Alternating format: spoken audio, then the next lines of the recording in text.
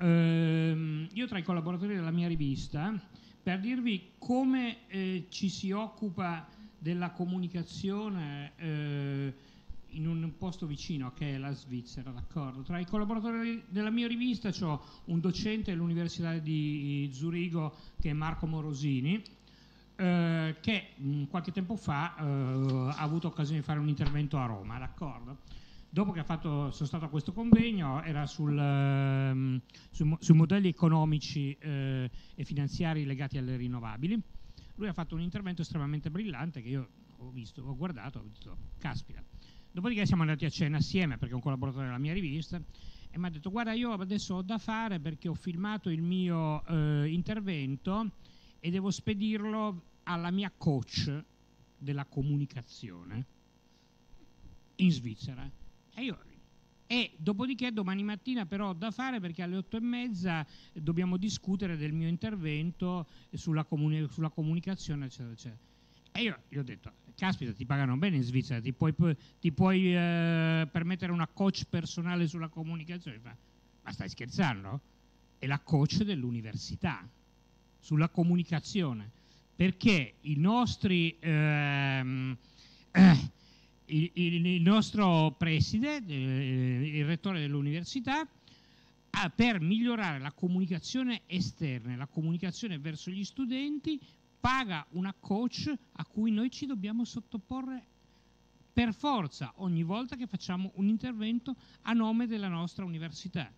E mi, mi ha detto, sai, io devo mandargli, faccio la ripresa con la mia telecamerina, dopodiché gliela spedisco eh, la notte, la mattina dopo a botta calda, cioè non qualche settimana dopo, dobbiamo discutere, lei mi dice quali sono le cose da migliorare, le cose da non migliorare, le cose che invece sono da cambiare, eccetera, eccetera, rispetto ai miei interventi. Allora, io su un livello così accurato, e questa era un'istituzione, un'università che si rende conto, diciamo, di quanto sia importante la comunicazione, d'accordo? All'esterno, ma anche nella didattica rivolta verso gli studenti, d'accordo? Per cui voglio dire, lì il problema della comunicazione barra informazione è estremamente pervasivo, d'accordo? Per questo io dico che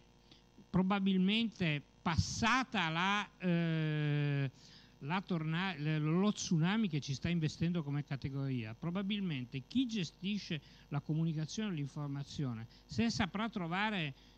delle, delle vie nuove, avrà di fronte, non dico un futuro radioso, va bene, però avrà di fronte un buon futuro, perché voglio dire, non è diminuita l'esigenza di comunicazione e informazione, sta cambiando e per quanto mi riguarda, eh, sia a livello mondiale che specialmente a livello italiano, non riusciamo a, eh, a stare appresso a questo che è un cambiamento sostanzialmente uno, una cosa per tutti, d'accordo? Io sono 4-5 anni che sto pensando a nuovi modelli di business e sapete dove mi areno? Mi areno sul fatto che non conosco il mio target, non so chi sono i miei lettori. D'accordo? Qualcuno di voi sa per chi scrive, ma in maniera analitica, cioè voglio dire, sono giovani, donne, che ispirazioni hanno, che cosa gli interessa, cosa non gli interessa, eccetera, eccetera. No, quando scriviamo, scriviamo per delle indicazioni di, di un editore che non, a sua volta non, ha, non, sa chi sono i lettori nello specifico, per cui in realtà non sappiamo se gli proponiamo delle notizie utili, perché la gente oggi legge, si informa, eh, assorbe comunicazione se ne trova l'utilità sostanzialmente.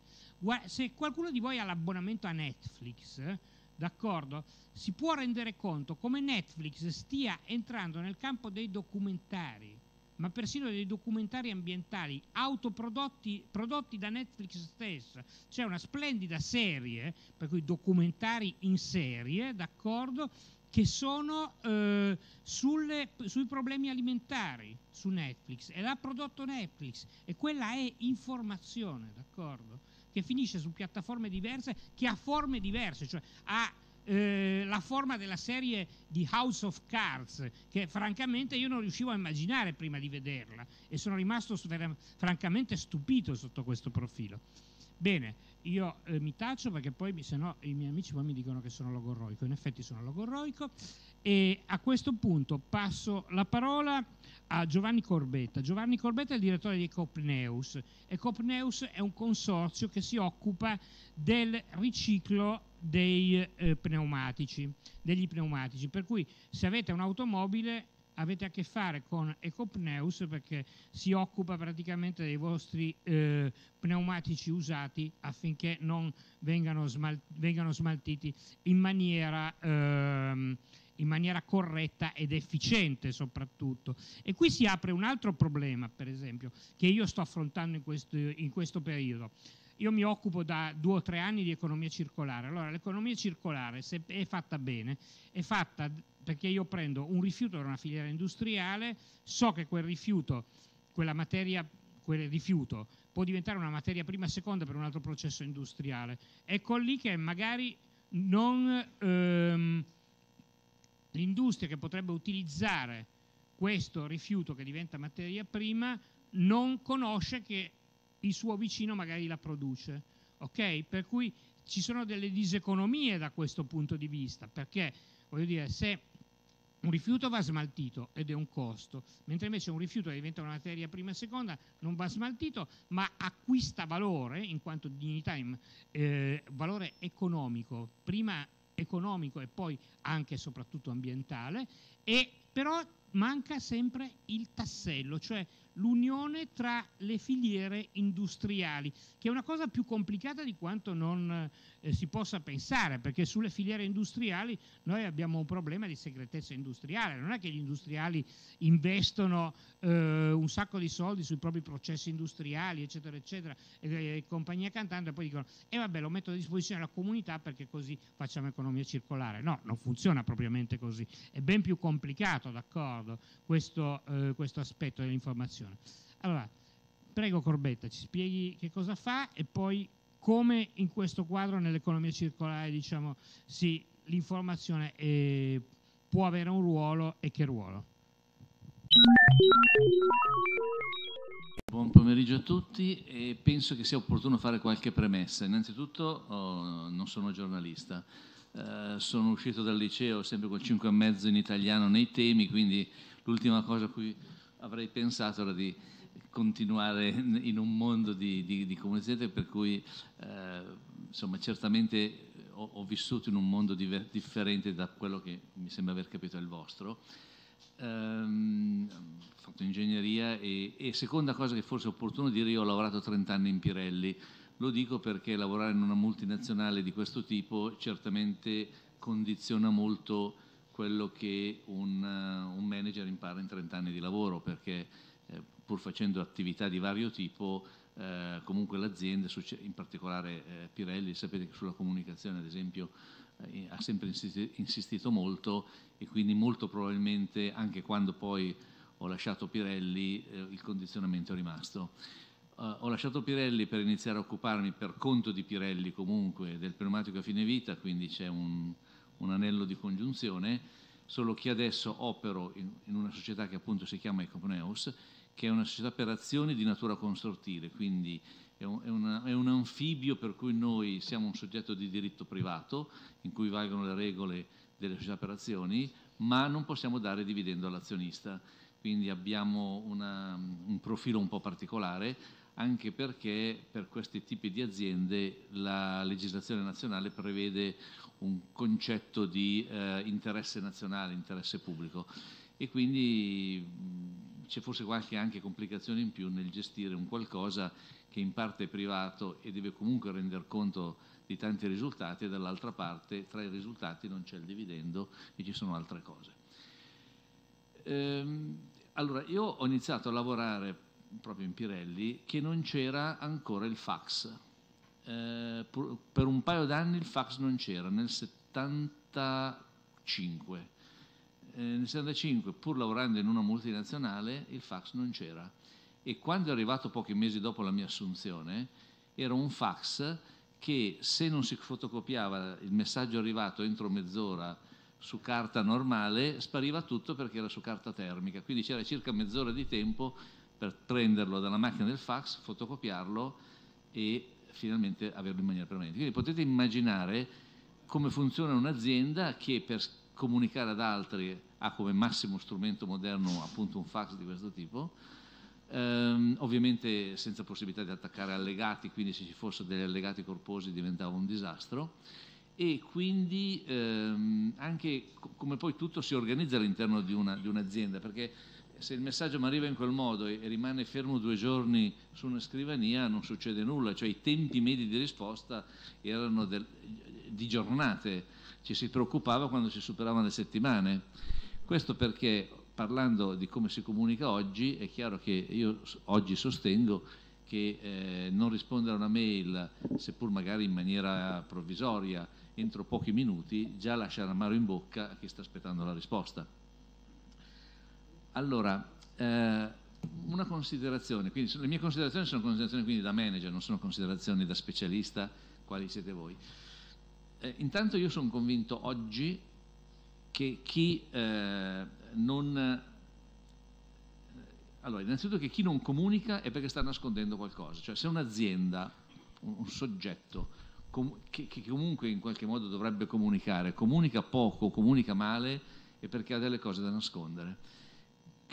io che oggi mi occupo di rifiuti sono ipersensibile a questo aspetto perché sapete che il mondo dei rifiuti è un mondo che eh, nell'immaginario collettivo e forse anche nella realtà è molto pervaso da situazioni eh, irregolari eh,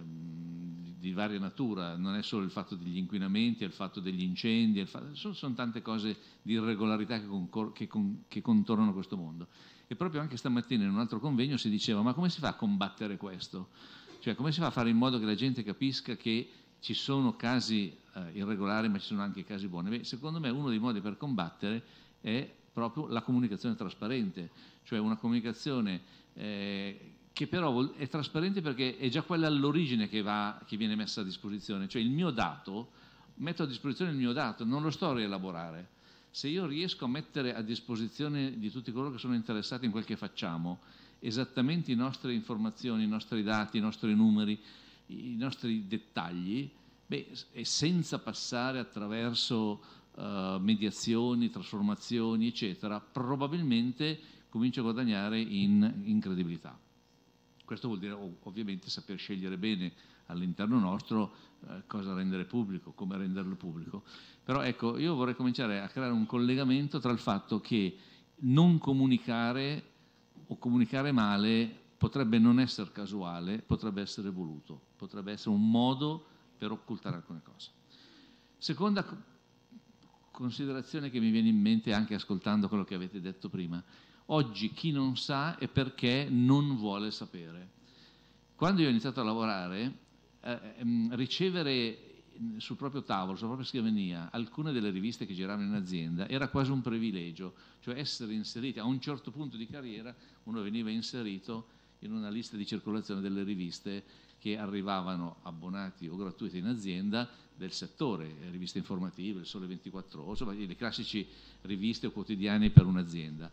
Eh, oggi farebbe ridere immaginare che è un privilegio ricevere o non ricevere delle informazioni, perché eh, ovviamente la, chiunque può andare a chiedere qualunque cosa dovunque vuole tramite, eh, tramite internet. E allora anche qui eh, non è solo il fatto di avere un'informazione molto più in fretta e molto più precisa e eh, sperabilmente molto più alla fonte, ma anche di poterla avere tutti e di poterne disporre in tutti i modi. Quindi oggi chi, ehm, come dire, ogni tanto io mi sento dire, eh, ma chi me l'ha detto, chi, chi, chi me l'ha fatto sapere, dove, dove l'ho letto? Beh, oggi uno che vuole sapere mette quattro parole in croce in Google e gli si apre un mondo infinito. Un'altra cosa che mi sembra eh, valga la pena considerare è quello che eh, ovviamente questa abbondanza di informazioni eh, richiede una capacità di selezione, una capacità di non perdersi, una capacità di arrivare abbastanza al, al focus di, di proprio interesse e a quel punto di riuscire a collegare i vari spezzoni di informazione, perché se io ho accesso alle informazioni ma poi non le collego bene, ovviamente faccio un pasticcio. E quindi eh, mi sembra che oggi sia necessaria disporre di una attitudine o di una capacità di eh, prendere i vari pezzi, collegarli bene e quindi un, un fatto di, di, analisi prima ma di capacità anche di sintesi poi perché altrimenti eh, ci si disperde, non se ne viene a capo insomma in qualche modo. Quindi eh, come dire, quello che succedeva 30 anni fa e quello che succede oggi mi sembra quasi che sia girato il mondo, nel senso che quello che si faceva o si doveva fare o si doveva lottare per fare allora, oggi si è rovesciato, non è più, forse più facile o più difficile, ma è profondamente differente. Uh, altra cosa che eh, volevo, volevo, citare è che eh, l'informazione oggi, essendo accessibile, tende a non essere più un fatto di potere. Nelle aziende di un bel po' d'anni fa, avere, siccome pochi riuscivano ad avere le informazioni, era proprio una, uno strumento di potere, era uno strumento che permetteva di dire all'interno di un'organizzazione chi sa e chi non sa. Oggi non può più costruirsi una situazione su questo aspetto perché chiunque sappia leggere e scrivere sa, perché eh, l'informazione è lì. Allora mh, ci, sono veramente secondo me tanti cambiamenti che, ehm, che possono probabilmente richiedere differenti discipline, differenti accumuli di esperienza per poter dare un contributo alla, ai colleghi, per dare un contributo al cittadino, per dare un contributo a, a chi è interessato. Altra considerazione che ho, mi sono segnato ascoltando prima voi, eh, noi oggi eh, riteniamo allora, forse merita che dica due parole. Noi oggi siamo eh, per legge in dovere di raccogliere in tutta Italia i pneumatici eh, che sono stati sostituiti su un veicolo, e quindi sono diventati un rifiuto, e portarli tutti a un corretto trattamento ambientale. Eh, potrebbe sembrare una cosa banale, in realtà dobbiamo inseguire circa 30.000 gommisti in giro per l'Italia che producono più di 1.000 tonnellate al giorno lavorativo. Quindi voi immaginate che noi ogni giorno in giro per l'Italia abbiamo camion che la percorrono in lungo e in largo e che ogni giorno raccolgono 1000-1100 tonnellate che poi dobbiamo trattare in impianti eh, idonei. Quindi eh, è una sfida abbastanza, abbastanza, interessante. Bene, chi è il nostro eh, committente? È vero, noi siamo una società costituita come azionisti dei produttori di pneumatici, perché sono loro che per legge hanno l'obbligo di costituire questa organizzazione, ma il nostro vero datore di lavoro è il cittadino, perché noi viviamo solo e soltanto per il fatto che chi compra un pneumatico paga un piccolo contributo e con quel piccolo contributo noi dobbiamo garantire il trattamento di quel, di quel pneumatico. Quindi eh, è solo per il fatto che c'è qualcuno che compra un pneumatico e paga il contributo che noi riceviamo i soldi per poter operare. Quindi abbiamo un enorme quasi tutti, quasi tutti, i cittadini hanno dallo scooter alla bicicletta al veicolo, eccetera. Quindi abbiamo, vorrei dire, 60 milioni di persone che ci guardano. Poi abbiamo le categorie più interessate, abbiamo uh, i ricercatori che stanno studiando tecnologie per lavorare meglio il pneumatico, abbiamo quindi professori universitari, abbiamo l'Enea, abbiamo magistrati che ci guardano, forze dell'ordine, ehm, altre aziende che possono essere coinvolte, quindi c'è una pletora veramente ampia per cui con eh, la società di comunicazione che noi utilizziamo abbiamo proprio creato un cerchio di tutti i possibili soggetti da contattare, quindi eh, i cluster di soggetti, lo studente, l'insegnante, il ricercatore, il cittadino e per ciascun cluster finale da raggiungere qual è lo strumento, perché è chiaro che per alcuni settori e per trasmettere alcune eh, informazioni e comunicazioni può essere il convegno, in altri casi può essere l'articolo scientifico, in altri casi è un sito web, eh, lo potete vedere nel nostro www.ecopress.it, eh, possono essere Facebook, possono essere Twitter, quindi abbiamo, creato, abbiamo preso tutto il possibile ventaglio di strumenti e lo utilizziamo in base a due eh, parametri, chi dobbiamo colpire e che cosa gli dobbiamo raccontare. Eh, quindi anche questo punto è un punto su cui secondo me eh, cose che non si facevano una volta adesso, adesso bisogna farle. E, mh, mm, ma l'ultima, l'ultima cosa, prima si parlava del fotografo di Londra, noi siamo andati a prendere un giorno un fotografo addirittura che aveva vinto un premio a New York perché effettivamente in quel caso noi volevamo dare ad argomenti come i nostri che sono un po' alla fine insomma partiamo da rifiuti e, e, e siamo classificati nell'industria del rifiuto. E quindi abbiamo sentito in qualche occasione anche il bisogno di utilizzare nel comunicare agli altri che dentro questo rifiuto ci può essere anche qualcosa di bello, che nel caso particolare sono anche le materie prime e seconde che noi ricaviamo dal trattamento del pneumatico finito. E allora, ad esempio, delle belle foto fatte da un fotografo, non dal fotografo tecnico che fotografa il pneumatico, ma da un fotografo artista che nel, nel fare la foto in qualche modo ha certamente è andato ben oltre il puro fatto fotografico, ci è stato strumentale per poter aprire in quel momento un dibattito sul fatto che anche questo oggetto ha un qualcosa diciamo, di, di buono da rappresentare. Quindi ecco, eh, comunicazione molto molto ampia, molto molto sostenuta. Io spessissimo eh, dico al mio interno che se facciamo qualcosa e non lo comunichiamo potremmo anche far meno di farlo. Perché non, non essendo un'azienda di prodotto, un'azienda di prodotto fa il bicchiere, se il bicchiere non si, non si rompe come, come, i sacchetti di plastica di cui si parlava prima, va bene, funziona, lo, mi va bene, ma noi che non, non, abbiamo un prodotto, non abbiamo un vero e proprio servizio, eh, dobbiamo rendere un servizio così ampio e così generale, dobbiamo essere sicuri che tutti quelli che vogliono saperlo e vogliono in qualche modo verificarne l'effettuazione lo sappiano da noi in maniera diretta, veloce, possibilmente eh, non mediata, certamente ben preparato, in modo tale che la, la lettura dell'informazione sia, certo, sia, facilitata ma non deformata eh, e quindi arrivi e sia ben comprensibile. Questo diventa anche un modo per sottoporci a un, contro- a un controllo, secondo me, general generico, che laddove noi eh, dove si utilizzano soldi altrui, perché alla fine noi eh, i soldi non ci li guadagniamo, noi i, il, il, quid che riceviamo il cittadino lo paga per legge, quindi come dire potremmo trovare una facile vi, eh, modalità di vivere, i soldi ci arrivano, il cittadino lo deve pagare per forza e quindi non dobbiamo, cioè potremmo immaginare di non dover rendere conto al cittadino. Invece questo per noi è una delle priorità e per rendere conto al cittadino ecco che la comunicazione è, è più che indispensabile visto il fatto che siamo uno verso 60 milioni.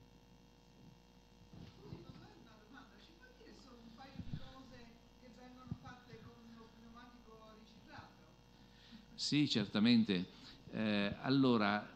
il sogno che tutti noi abbiamo, e ne ho avuto occasione di parlare spesse volte con gli scienziati dell'Enea, è di riuscire... Allora,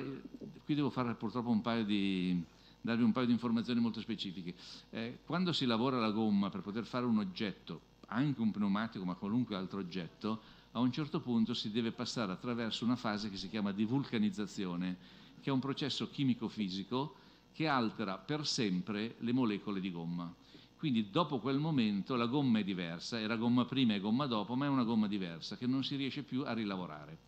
E questo è un fatto tecnologico eh, che essendo irreversibile sta impedendo di tornare con facilità da un pneumatico a fine vita a produrre nuova gomma per farne un altro, mentre la lattina della Coca-Cola la si fonde e la si riutilizza, la carta la si macera e la si riutilizza, il legno lo si truccia e lo si riutilizza, purtroppo la gomma nel pneumatico, almeno per ora, non torna. Io conto molto sull'Enea che un bel giorno mi dicano che hanno risolto il problema eh, perché lavoriamo con, eh, con, con, il dottor Morabito del, dell'Enea. Eh, nel frattempo cosa si fa? Tendenzialmente lo si frantuma, si frantuma il pneumatico, lo si frantuma in eh, particelle molto piccole, un paio di millimetri. In questo modo si riesce a separare la parte gomma dalla parte metallo e dalla parte tessile. Se voi eh, poteste tagliare a metà un pneumatico trovereste dentro, oltre a tanta gomma, dei fili di metallo e dei fili tessili che servono per dare robustezza meccanica. Bene, arrivando a una frantumazione molto piccola, e con delle vagliature si separano gomma, tessile e metallo. L'acciaio se ne torna subito in acciaieria perché è il più facile da ritrattare. Tessile purtroppo non ha ancora trovato grandi sbocchi, però ha un elevato potere calorifico e quindi va ehm, nei cementifici come combustibile alternativo. E la parte gommosa invece, che è la preponderante, tra l'altro viene utilizzata laddove serve della gomma ma diciamo senza una necessità di un forte riagglomeramento. Ad esempio, viene usata nei campi di calcio ad erba artificiale per tenere i fili d'erba verticali e dare elasticità al terreno, viene usata per fare le piste di atletica, pavimenti di palestra, viene usata nei muri come insonorizzante, eh, viene usata come impermeabilizzante nei sottotetti, viene utilizzata come ehm, incollando questi granuli con un po' di mastice per fare supporti antivibranti. Quindi c'è un ventaglio molto ampio che trova, che può, che può vedere nel nostro sito perché abbiamo un catalogo di tutti i possibili prodotti che aziende italiane fanno lavora, rilavorando il granulo di gomma da, derivata dal pneumatica finita. È un catalogo che noi ospitiamo, noi siamo senza fini di lucro, quindi da lì non, non traiamo nessun vantaggio, ma lo facciamo a supporto della filiera che sta a nostra valle.